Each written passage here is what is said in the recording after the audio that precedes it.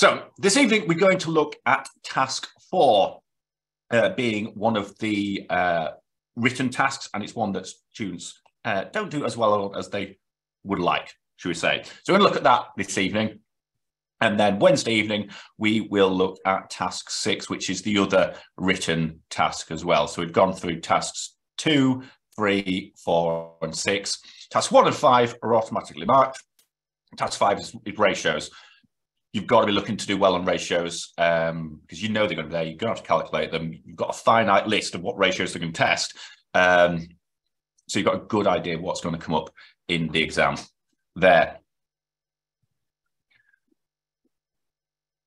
Cool. So let's have a look at the Chief Examiner's report um, for task four.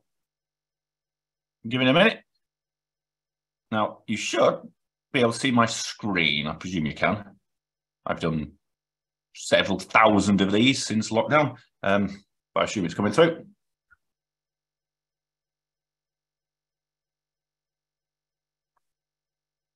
Cool. So this is the yeah, chief examiner's report. So you can see here, um, it comes up with the account systems controls. Account systems controls are in like every unit because it's the unit. Um, but there's a lot of MDCL, decision and control. So you do have to revise uh, certain bits. We went through this the other day, certain bits from budgeting, decision control, financial statements. The lion's share of stuff from the previous three units that's in this exam is decision and control.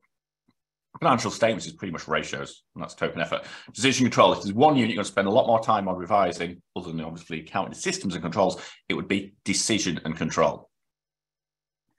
So we've got our learning outcomes there. Um, in fact, we'll scroll back up to the top. We'll just look at overall performance. We get into the actual nitty gritty. You see here, it is one, along with task three, ones students don't do very well on. So you're looking at a third of students pass this task. So two thirds of them don't. Uh, it is a tricky one. Um, so the the problem is also there's an awful lot can come up in this task, whereas like task five is literally ratios, and that's all it'll ever be. So we'll look at what comes up from decision control, but you can see it's quite open ended. So you know, standard costing, you know, should be able to work out standard costings. Um, financial, non-financial performance techniques to aid decision making. So there's quite a lot can come in there and range of cost management techniques. So you can have things like target costing, cost benefit analysis that can come up. Um, there's loads of things that can be, and it can be quite number heavy, but quite wordy. So if, when you look at where, where students do well, the next page, calculations, that's what, you know, accountants is what we do. We do very well on that. Um, but you might get one that doesn't have any numbers, where some quite be, like say, quite number heavy. Um, but then where students do struggle is non-relevant costs. Does everyone, does anyone want to tell me what a non-relevant cost is?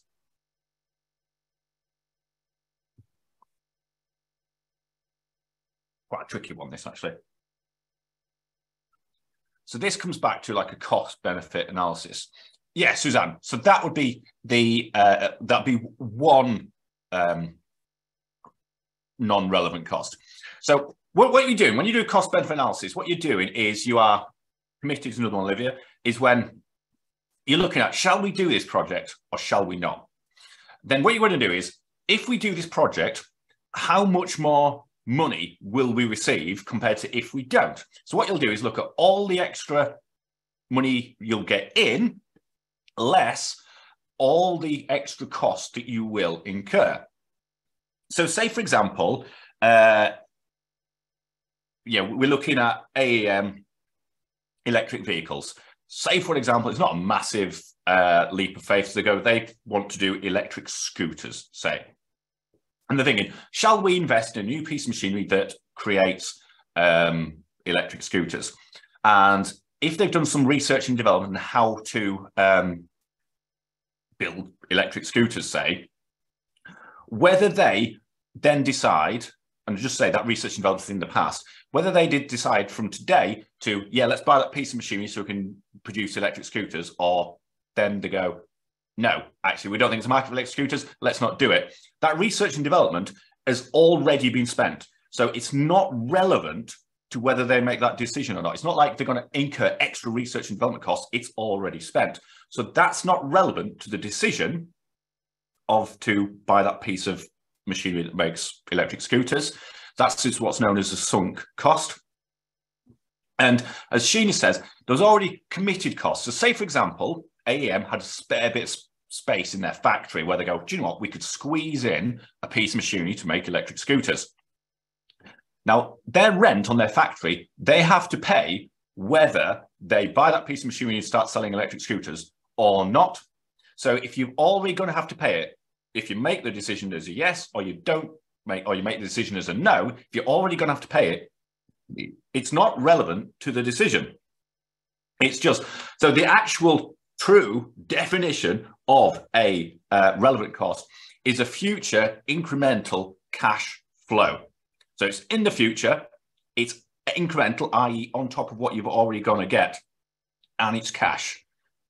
So it's not like we put a provision in which might, know, might reduce your profit, but it won't produce cash. So it's, yeah, it's got to be in the future, it's got to be incremental, and it's got to be cash, which is Wreckers. We had a very good addition of non-relevant, it's not future, it's not incremental or uncontrollable, and it's not cash. And when you get, if you get a cost benefit analysis, they will almost certainly give you quite a few relevant costs to do a calculation, but there will almost certainly be irrelevant costs or non-relevant, I should say. So things like there are managers' salaries. So if the manager is working on this, would have to work on this project, if you're paying them anyway, it's not relevant. Whereas if they have to do overtime, it's uh, relevant. Um, what other examples are there of uh, non-relevant costs? Um, so, you know, if you're already paying the staff, uh, if you've already paid it in, in, advance, if it's part of your day-to-day expenses like your rent, it's not relevant. It's, you know, if like research, if you've already done it, it's irrelevant. Basically, anyway, that's quite a lot about non-relevant costs. Watch out for that. They do like throwing them in. Um, the inability to assess the wider implications of a financial decision. Um, yeah, when you're talking about financial decision, it's always a good idea to put the end, you know, some sort of open-ended caveat of more, re- you know, more research and development, you know, would be useful or market analysis. You know, something just uh, so don't look at the that's it, and that's always going to be the fi- the figures. We ignore everything else, really. And like, I mean, this is specific to this task, not using the information provided in task data. So we all know we, we've got the, the scenario AEM and hopefully you've read it, but not spent your time learning because you don't. It's not a test of memory. What's going to happen is in the task, something will happen or there's something they'll be considering something and that is what you want to base your question around really make it relevant to the scenario or the information given to you in the actual task it is given to you for a reason Cool. As you can see here, it's now up to a third of people are passing this rather than a quarter. Um, you know, it, it is a tricky task, and this is where decision control. And unfortunately, there's quite a lot from decision control that can come up here. So the more question practice, the better, because you get more exposure to the different subjects that can come up. It's not like um, task three, which will be identifying weaknesses. This could be quite a broad range of subjects. So more question practice, the better on this. Cool. Any questions on that before we get into our actual question for this evening?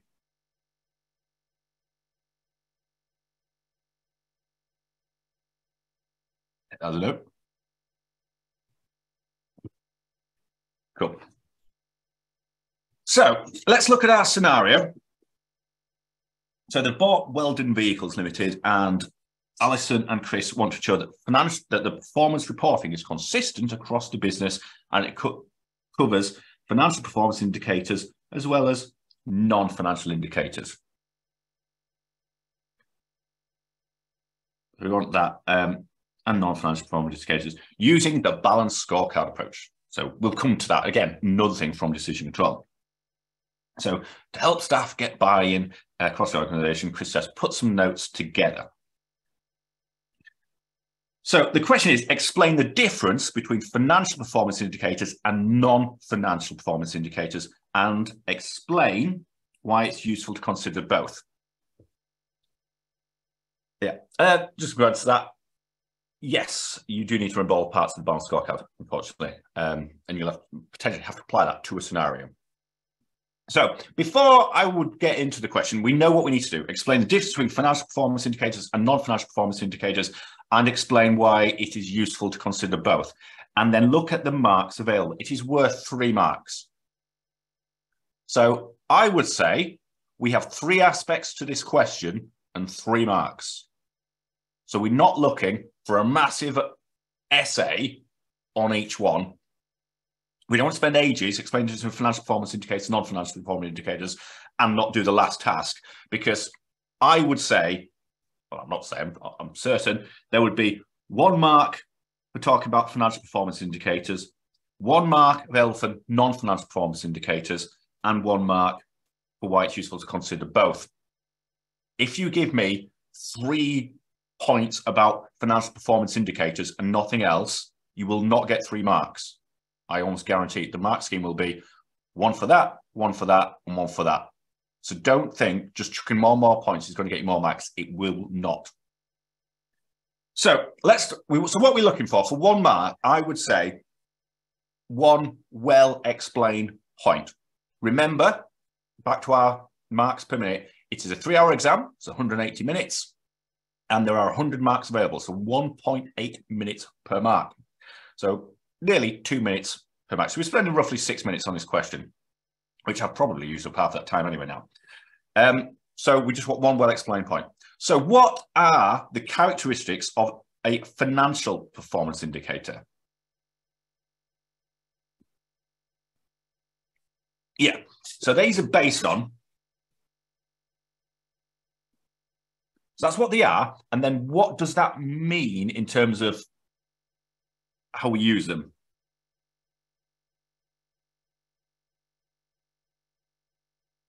Yeah, they're very tangible, i.e., they're very easy to get.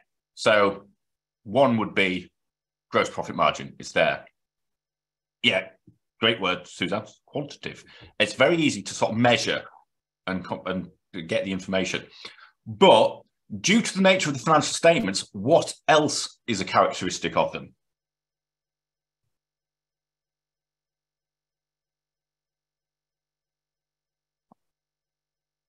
Yep, you've got in there profitability, you've got liquidity. Yes, that's the one I was looking for, Sheena.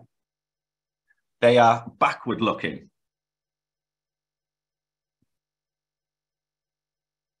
So even if you're the best accountant in the world, um, you are and your year ends the 31st of March, you will not be preparing your financial statements on the 1st of April. You've got to wait for all the supplier invoices to come in. Potentially, um, if you're doing a bank rec, if you've got that sort, you've got to wait for bank statement to come through. Um, you've got to find time. They're always going to be backward facing. So the good in the fact that cold hard facts that you can get from your statements, but at best, you're probably looking three months ago in terms of um, timeliness, which nicely segues into the next. Obviously, put this into a nice sentence, um, but that's what you'd look. Basically, would say these are measurable in bits of information taken from the financial statements, but due to the nature of them, they are historically looking. And that's it. That's one mark. So we need to stop that. We have literally completed that mark. Write something else about that will not get you another mark. I guarantee it. Whereas what about non-financial performance indicators?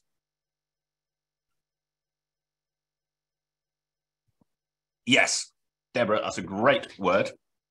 These are qualitative. That's such a good word. I have to check that out. You've spent it, spelt it, make sure I've got it right. Qualitative, but these are more forward-looking. What would be an example of a non-financial performance indicator?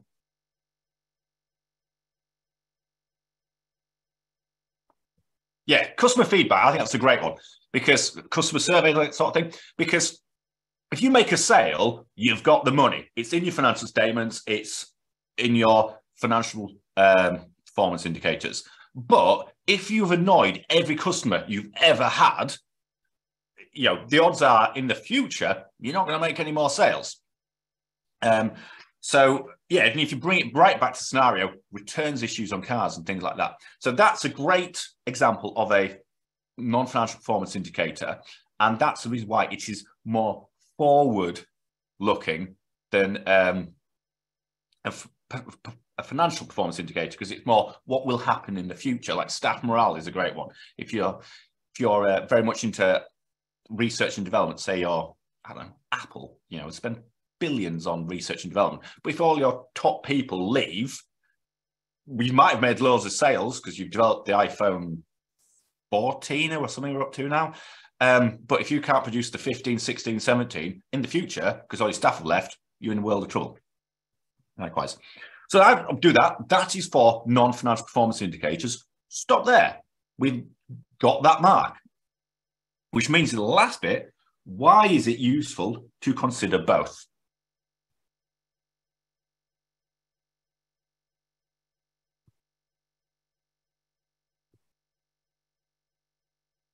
Yeah. They've got different and complementary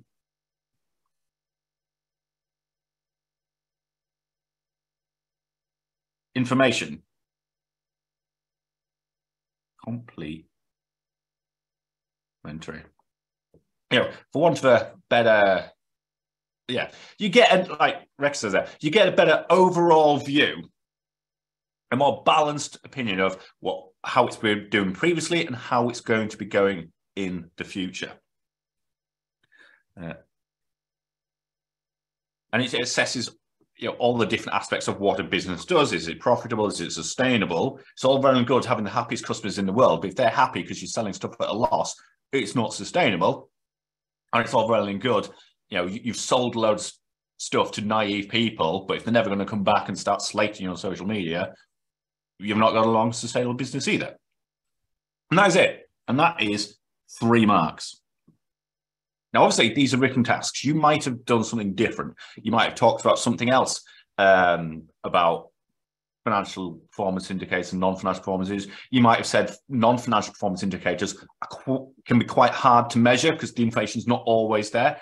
Again, that would be a great point, but I wouldn't write three, four, five points about it because the marks just aren't there, really. So we look, we look, we look at something similar, but not exactly the same, but structured in this way.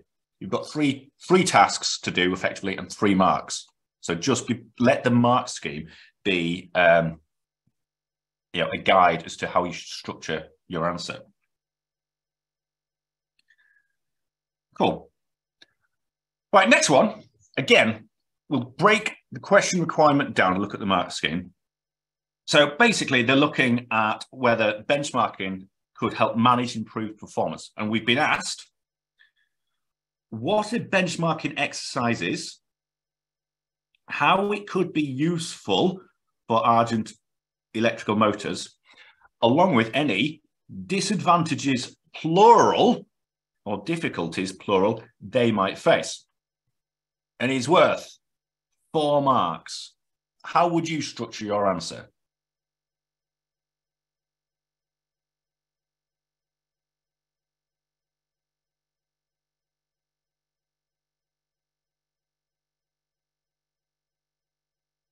Yeah, Liz, I would definitely do that. I would. Yeah. So I would have one mark, one pen, one mark there for what is a benchmarking exercise, how it could be useful, and then I would put two marks there. I would want to put two disadvantages or difficulties that they might face.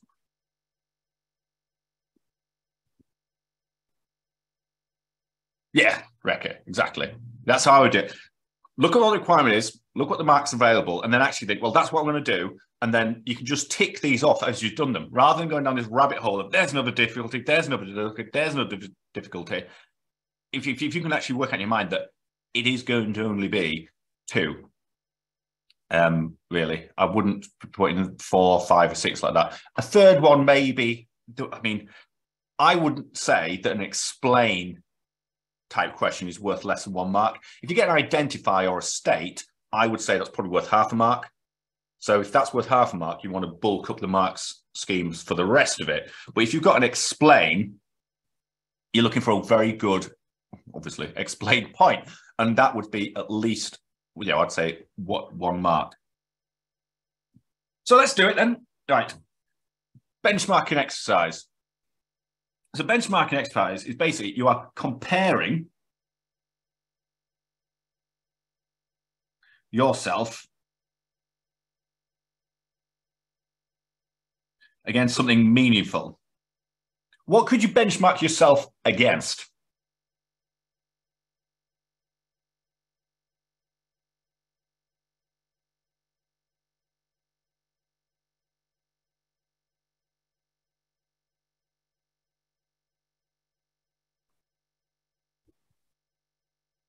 Yeah, what have you got? Yeah. Um, industry standard, if you can get industry figures, that is great. Uh, competitors, companies' house, and things like that is good for getting like financial information to compare yourself on. Um, other competitors, other competitors, other departments, quite a good one. You know, if you've got a, I don't know, car making department, um, well, you could do even th- things like sickness. If you've got a car making department and a, I don't know, electric scooter making department, and one's always off sick, why? What's going on there? They overworked or they got low morale? Yes. Um, well, yeah, to a degree, Megan, I'd agree with that because what you would do is you can also benchmark yourself against yourself, but in the previous year. So you you can benchmark yourself against what other people are doing, but you can also benchmark yourself, yeah, Laura said year on year, on what you did last year and go, actually, we want to do better than last year and set yourself some target. It is basically measuring yourself against something else measurable. It must be measurable. If you can't measure it, you cannot benchmark it, and then trying to make some meaningful comparisons. Cool. So the next bit is how could it be useful for Argent electrical motors? And I'm going to understand, underline that bit there. Not how is benchmarking useful? How is it useful or could it be useful for Argent electrical motors? What could you compare when you're making electric cars um, comparing something else? Yeah, I agree with the gross profit, but how is that specifically re related to what Argent electrical motors is? How could they use it?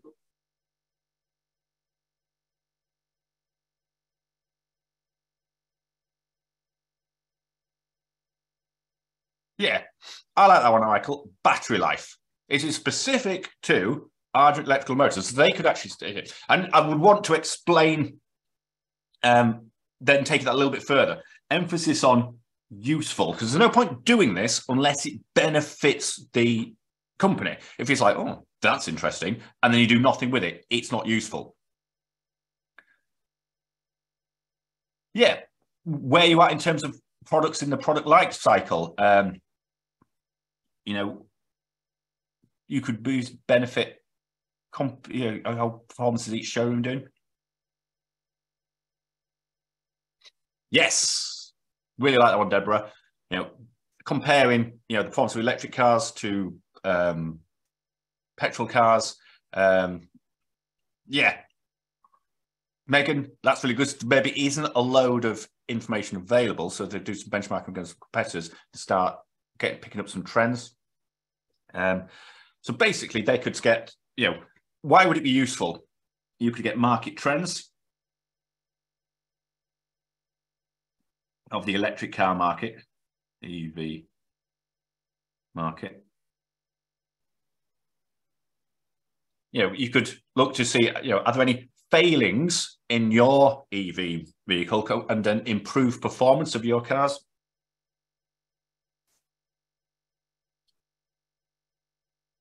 Yeah. Yeah, play the game. You know, you, I spend my whole life looking at what our competitors are doing. Um, yeah, but again, just one tangible usefulness or benefit, I think is a better way of phrasing it. I want one ben- benefit from possibly using benchmarking. So the next bit, what difficulties or disadvantages could they face? One point I like, someone's already mentioned. Yeah, so it's, it's time consuming in itself. There's no two ways about that.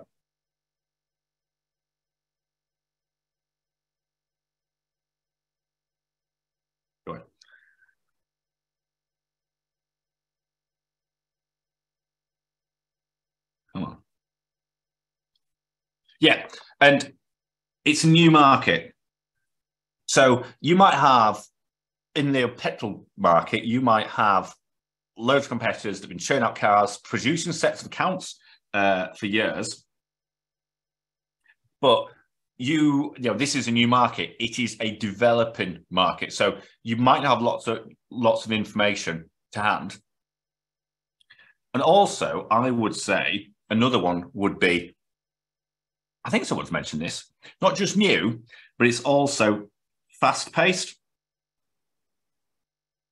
you know, years ago, if your electric car, well, in those days, it was a hybrid, uh, would would do 30 miles on um, electric, you thought, wow, that's really good. Not many long times after, you cars that will do hundreds and hundreds of miles uh, on electric cars. You know, and that Tesla Plaid thing, that can do 0 to 60 in under two seconds. It's mental. Um, you know, the market is really vast. So you might have some historical data, you know, that we're going back a year or two ago and you're benchmarking yourself out of stuff that is out of date. Um, and things so I'd, I'd be wary of that. And I think someone else mentioned it as well. Yeah, I mean, obviously, if you're, who would you say? Tesla, pretty big. Uh, if you're a small company, I don't know, AEM, you're not going to compare yourself to Tesla. You know, it's it's hard to get the information, especially. I think someone mentioned it. Um, non-financial data is quite hard to get to compare. Now, you're comparing staff morale. You might just have um, good staff, and you're comparing them to last year. And like, oh, staff morale's dipped a little bit. But if they're still better than everyone else, they're not going to be leaving, are they? Whereas if you think, oh, staff morale's better than what it was last year, but as soon as they go for the job interview or anywhere else, they're like, my God, this company is amazing. They're all going to leave, even though you're proving it. Yeah, like I said, you know, internal information is quite hard to get hold of.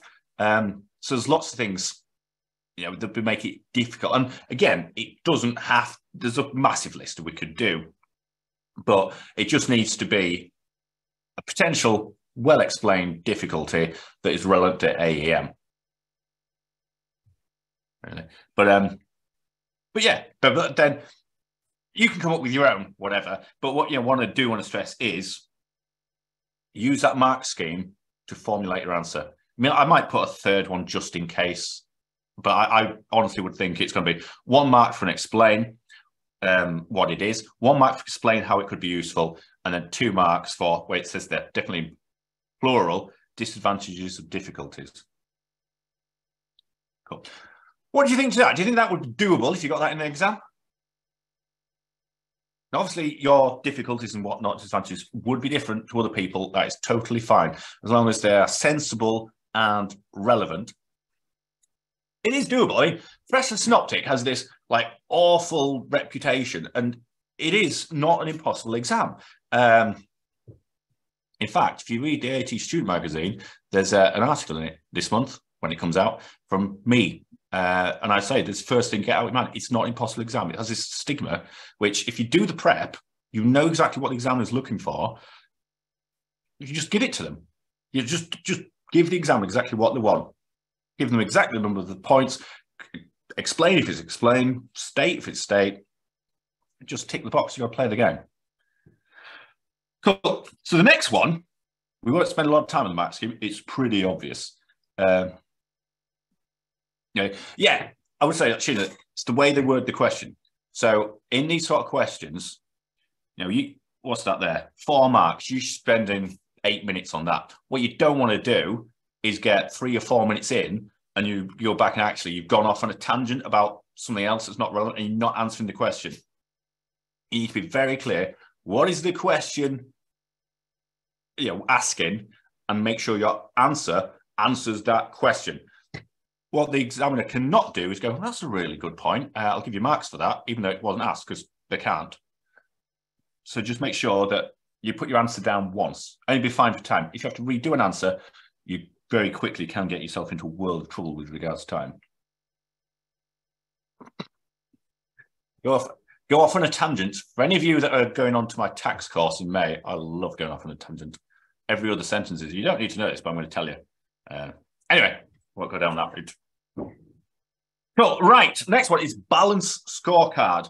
Um, they may and probably will give you the four aspects of it as headers, but you definitely want to know them. So let's see what we have to do. So they are use the balance scorecard to measure measure performance. So that's what they want to achieve. But they want to make sure that everyone is aware of the specific targets they're working towards, because you know, if they don't know, they can't work towards it. And address issues that have become apparent so far. So we need to suggest a key performance indicator that they could use and then explain why the measure you have suggested would, would help AEM manage performance.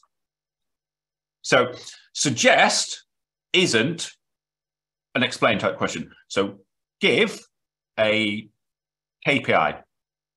You can literally just come up with one thing and just put it down, and you'd get, I would say, at most half a mark. But obviously, for the full marks, um, you want to be explaining why. Now, I would suggest here you've got half it's it's it says here suggest a key performance indicator. It's not suggesting performance indicators. So you've got two marks for each performance indicator. So put it down and then you want a really good explanation to get all two marks remember the previous one was one mark. This is now two marks for you to explain your measure and it's the measure how it would help them uh, manage performance, an emphasis on manage performance. So, financial perspective. Give it to me. What could we measure as a KPI under the financial um, indicator? Yeah. Um, what have we got? It means makes much difference, really. Um, let's go with the first one. Honestly, if you can measure it and it's financial related, it's right. Um, what I would do though is make sure that if the one you choose, you can explain how it would benefit them in managing performance. So let's like without picking favorites, let's just go for the first one, which was gross profit margin.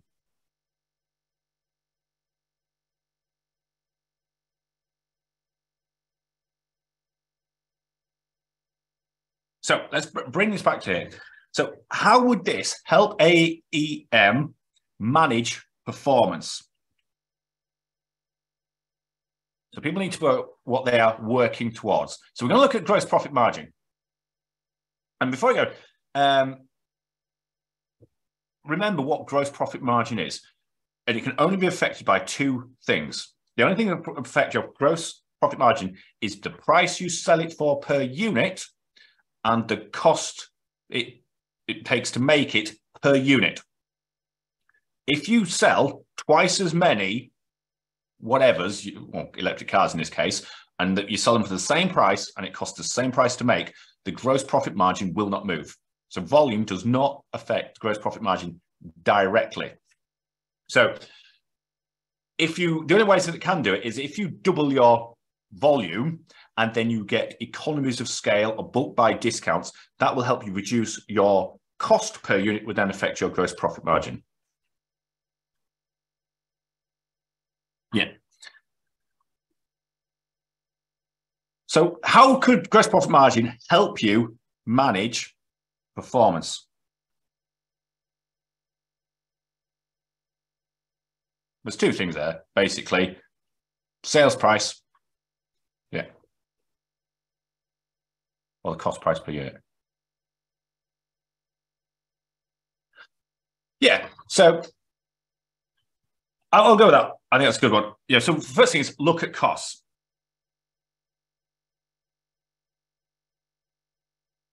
So what you can do is allow us to see if costs are rising and highlight that fact.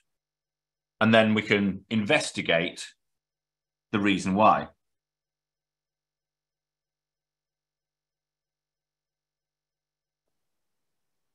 So you can set, you know, we, we want, you could set your production manager something tasks of we want to achieve a 20% margin and they have to look at efficiencies in terms of direct labor, in terms of materials and things like that. What about the other side of gross profit margin?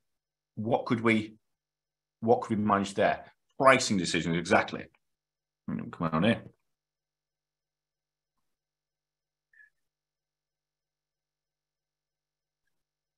And you know, you could look at pricing decisions, and then from that, are you offering any discounts?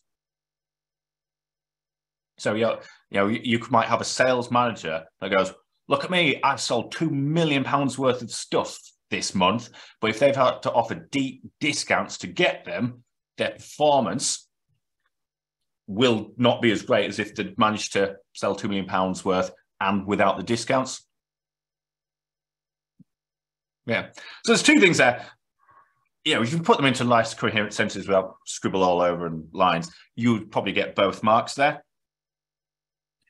Um, next one, customer's perspective. What is a KPI we could measure for customer's perspective that would allow us to manage performance. Yeah, someone was first with that. We'll go with that. Megan, customer customer surveys or feedback.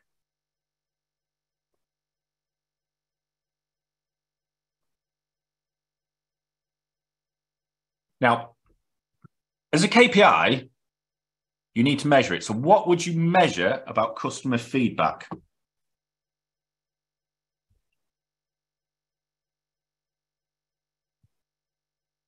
Ah, excellent point, Han. Yeah, after sales satisfaction uh, in the pre-release materials. Yeah, Liz, let's go with that. Number of ratings that give full marks. That is measurable. Or number of complaints. Either way, um, let's go with Liz because more positive. looking at five star.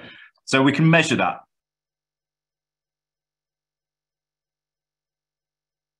Five star reviews. That's meant to be a star, by the way.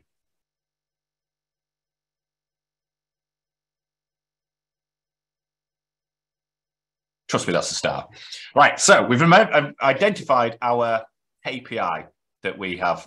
And that's not to say, actually, other suggestions like number of complaints, number of pairs, and things like that, they're not equally as valid. Um, I just had to pick one. And again, you might come up with loads. You have to pick one because it asks for a key performance indicator.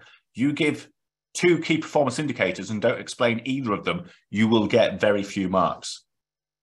We work one performance indicator and one explanation. Doubling up is just wasting your time and the examiners because they can ignore it. So if you're measuring your five number of five-star reviews you get, how will that allow you to measure performance or what performance could you manage based on that?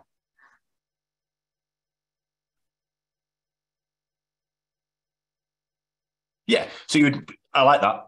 I like that, Angel. Um, so you can measure your after sales performance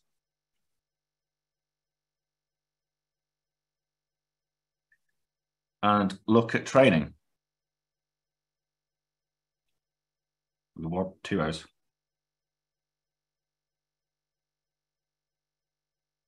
I think that's a really good point. So, Sam, Anne pointed out, um, you know, it, it's a very good point. It's it's it's in the pre-release. It's quite a good thing to look at. Um, shows off the exam a little bit. Um, so you can measure that. You can then act on it and deal with it, and you can say to people, you know, you know, our after sales service, what went wrong? Then you've got a measurable something we can do about it and like, offer training and things like that. I wouldn't say any more to that, to be honest. You've got a KPI you can measure, and you're saying how it will help manage performance. Which is that. Um, yeah, I wouldn't, I wouldn't write any more because you don't going to get any more marks that. There's only two marks available, and it's only one for one KPI. Next one, internal business processes. Uh, yeah, I, did, I didn't think of that one, Michael, but I think that is a great one. So, what would you measure though? Hang on.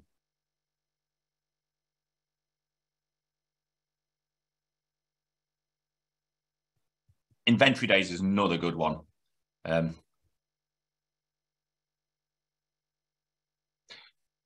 yeah, uh, I'm trying to think of a yeah percentage of people who pay in 30 days. So something like that. On percentage of people who pay over that, yeah, the number of overdue invoices, percentage of overdue debt. Yeah. So, I mean, whilst there's different KPIs um, that we want to look at, I mean, different subjects, you know, staff retention is always really important. There's different ways you can measure credit control. As long as it's measurable, it's, it's fine. Like number of overdue invoices, like Megan says, perfectly fine. You've got to pick something. So, how will that help manage performance?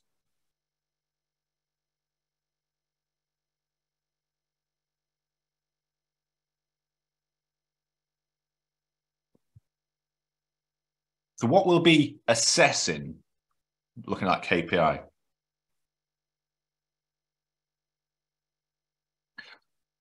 Indirectly cash flow. Um, Emily, I agree with you there, but I think it was more the what to. Um, yeah, we would assess the performance of our credit control staff or procedures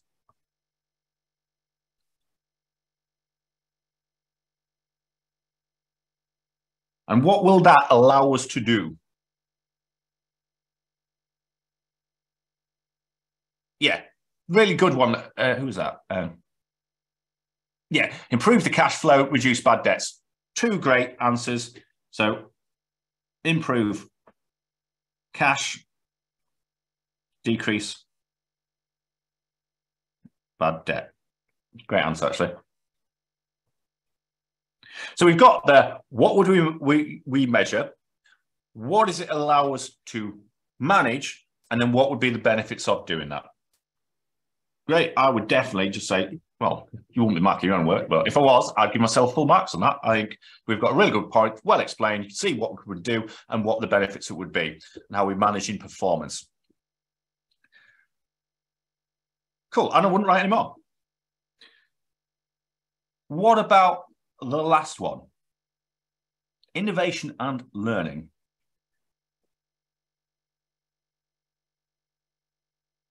Yeah, let's go with that because I think everyone's done that.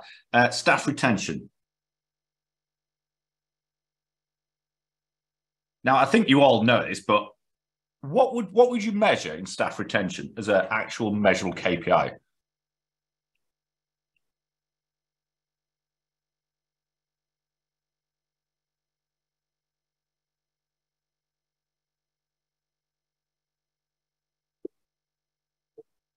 Yeah, that's a good one. Number of people leave within a year.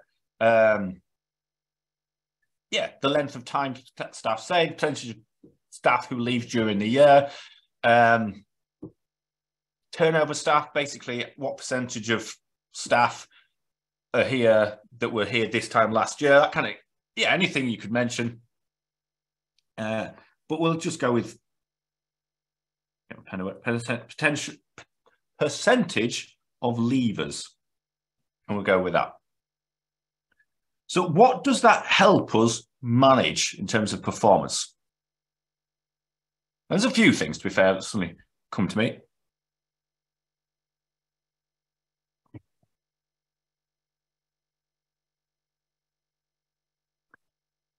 Yeah, so it help us manage staff morale.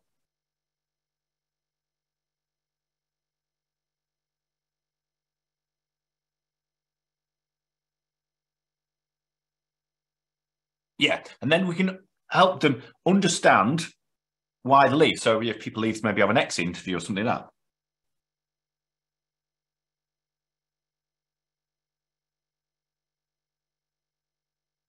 Why people leave. I mean, the other thing you, do, you also look at is your recruitment the issue? Uh, are you getting the wrong people? Are they not being aware of what they're getting themselves in for? Um, and then if you really want to take it to the nth degree, what would be, yeah, exactly, Megan. What would be the real benefit of improving this? Reduce recruitment costs is one. Spend time on last, spend less money on staff training. Um, have more experienced, more efficient staff. Yeah, I mean, if, if, if you want to bring in the reference material there, really good. Um, point, actually. I think that's a really good point, Liz. Uh, bring that in there. You can always take it back to the scenario, you know, if you think actually this is quite a technological industry um, and it's a new industry, so there won't be loads of people kicking around who've been working in this industry for 20 or 30 years. Uh, you know, it's probably people who've relatively recently moved into this industry from petrol cars to electric cars kind of thing. So, yeah, as you say there, you know, you've got more experienced staff, and so you've got you know better staff. You've got the recruitment costs. Um, you know, rec- recruitment agents licensed to print money is just shocking what they charge. Uh, I don't see the need for recruitment agents in the world. Um, improve efficiency. So there, take it to the nth degree. You know, manage performances and what would be the actual real world benefits to AEM and if bring it back to the industry as much as possible. Really, just don't make your answers really generic, but but yeah. Cool. So that is it for task four. Now, when I say this, this is task four for this mock. Task four is it's not like um like a task three where you're going to have to identify weaknesses you could get the balance scorecard. You could get, um, you know, explain benchmarking, that kind of stuff. You could get some form of non-financial cost benefit analysis. And you got to worry about, um, you know, what's the non-financial benefits of electric scooters, maybe. I don't know. Um, or you could get financial ones and you've got to do some relevant, non-relevant cost sort of calculations it's one that if I had to choose, spend do as many of these as possible to give as much experience to the sort of wide breadth of question types you can get in this one. Um, it, it, and as you can see from the performance, it, it's one that students do struggle with. Cool. But going through it together and looking at the mark scheme, how do you feel about that?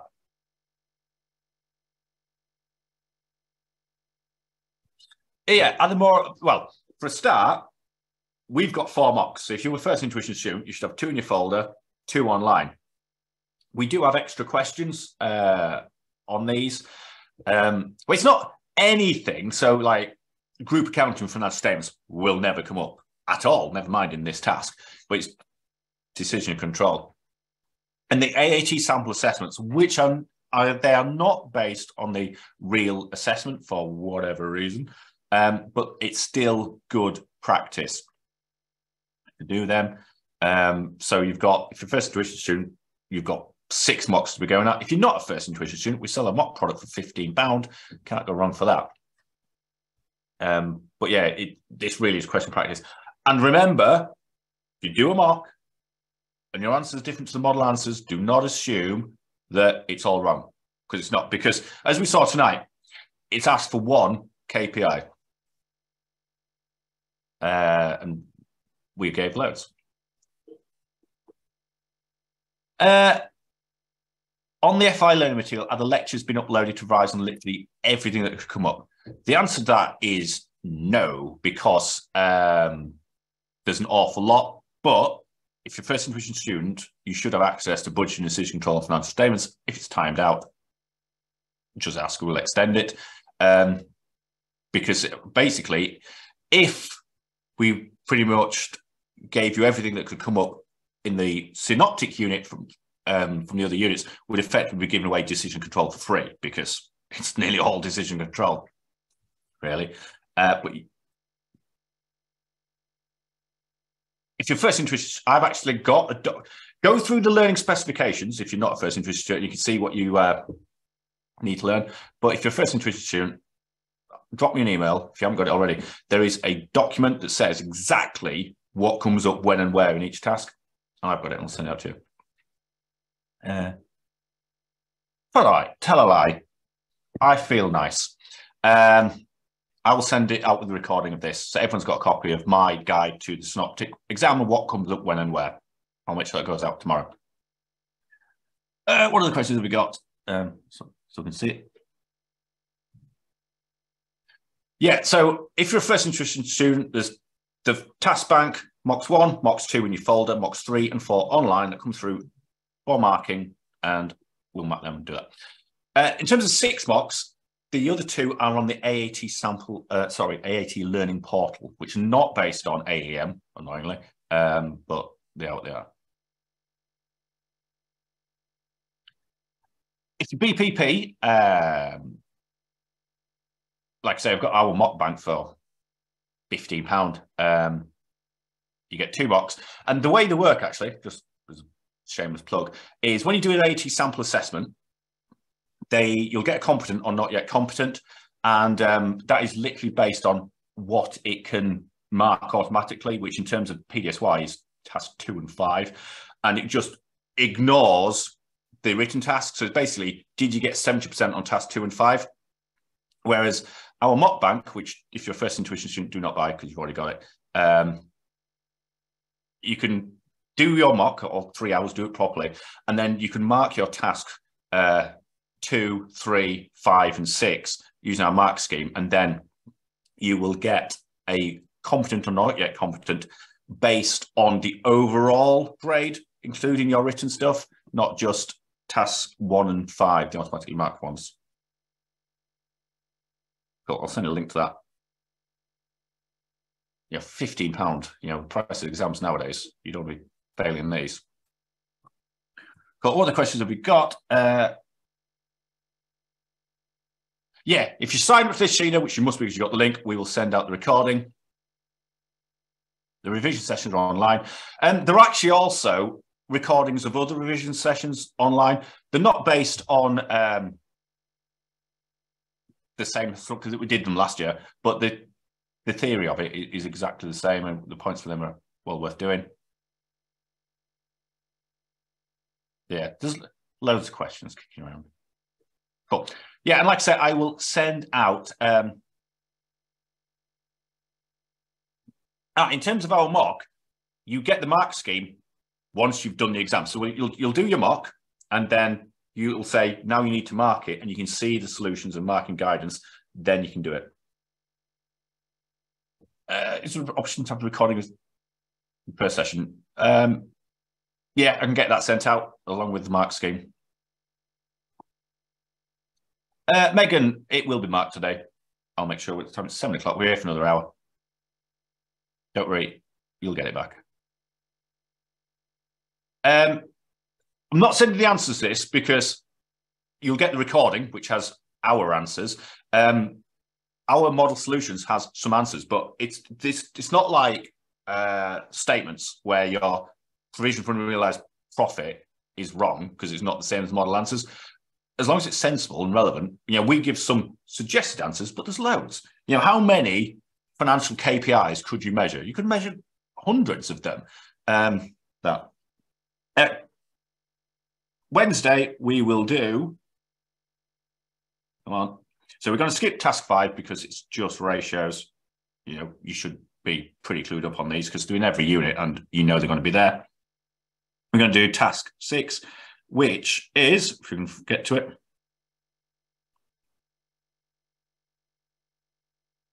Come on.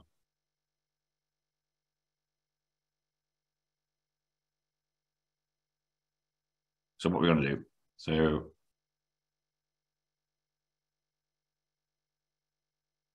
yeah, yeah, we've got cost benefit analysis. So see, uh, I'm not going to go through it, but there there will be non-relevant costs in here um, for this. Yeah, I just wonder if they're up on YouTube as well.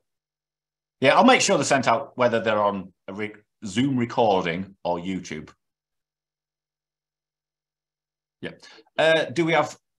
Yeah, we offer ACCA online, online live classroom as well. Oh, they're on YouTube already. Yeah, definitely watch them on YouTube because then it bumps up our YouTube reviews. Do you know an interesting fact? You might not think it's interesting, but I'm tell you anyway. Our revision session recordings on YouTube have had half a million views. Literally like Mr. Beast. Cool. Right. Um, I'll get the link sent out so you've got it all. Uh, yeah, you should have, you can have a go at this and then I'll go through this uh, on six o'clock on Wednesday evening as well. Yeah, that's the problem with Synoptic that just changed. Um, but they are out there. Come on, I'll just look. Cool. Anyway, right, before any more rambling, I will let you all go. I'll send out my guide to everything that you need to know at what point in the synoptic exam. I'll send out the recordings of the previous ones, um, and then I'll see you all Wednesday evening, six o'clock.